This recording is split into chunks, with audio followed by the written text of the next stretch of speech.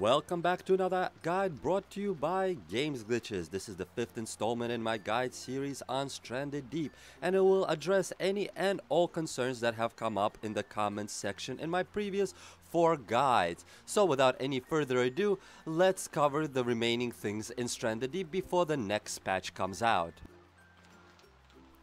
Aside from refueling your campfire with regular sticks like I have demonstrated in my episode 4, but what I've forgotten to mention was the fact that you could also refill it with the palm leaves in such a way.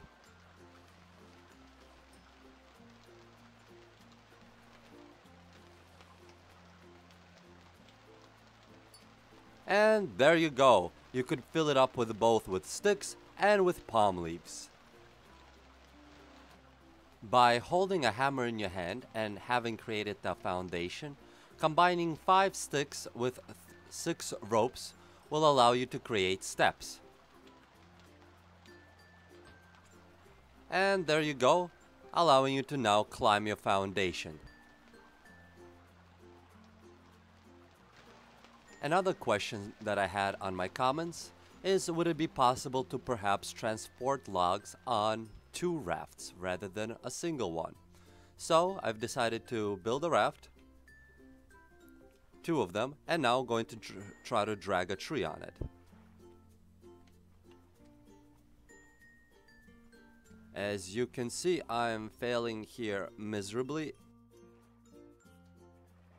because it seems that it's pushing it all around. Nope, there doesn't seem to be any logical or plausible way for me to be able to put the tree on those two rafts because they're all on their own buoyancy and they start bouncing around. As you can see, no matter how much I try, it just is not gonna work out at all.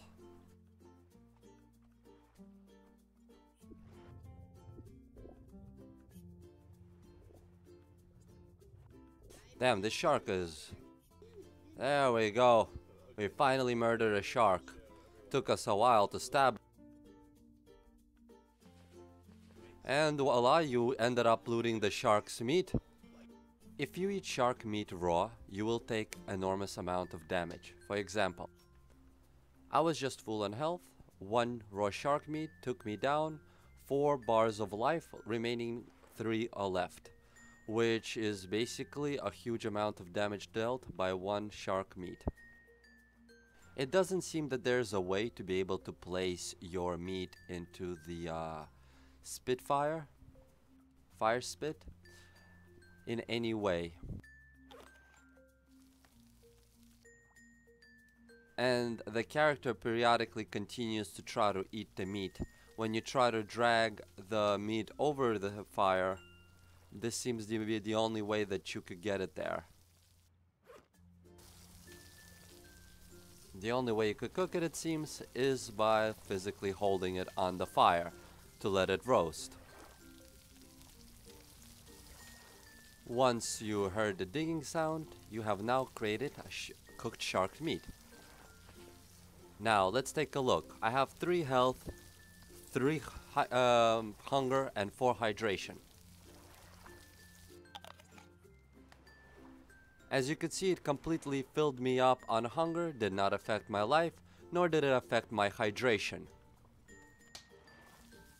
By building your campfire next to a tree, next to rocks, or anything that things can lean on, you can actually cook multiple things at once on a single campfire. As you could see here, I surrounded this one with three crabs that are all being fried at the same time on the campfire. Using this back tree right here, from preventing them from falling off the campfire completely. Therefore staying right next to the campfire and cooking quite beautifully. One of the things that I've discovered in these hard cases was a flashlight. A basic flashlight.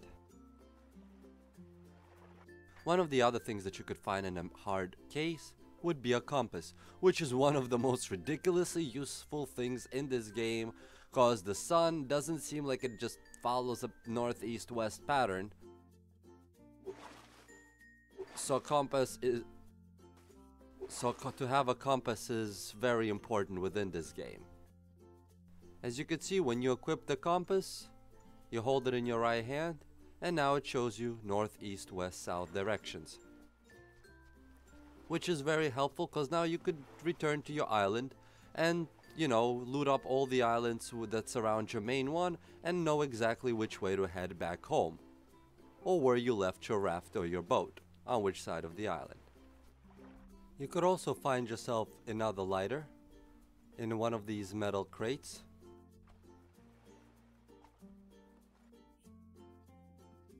Please also note to check lockers. As you see here, I have discovered duct tape and an X.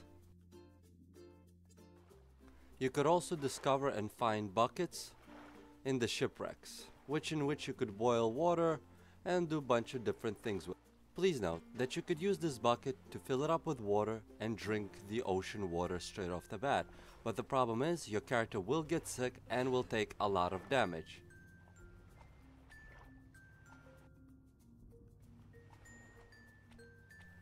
While you're in the water, you left click or you just dive and fills up your bucket with water. Or if you left click while you're out of the water with the water in the bucket you will drink it and as you could see there you get sick. One of the ways of boiling water of course once you see in the water in your bucket it has this nice little reflection right there as you could see. You could either drag it on a fire to boil this water and just wait for it or you could make the fire spit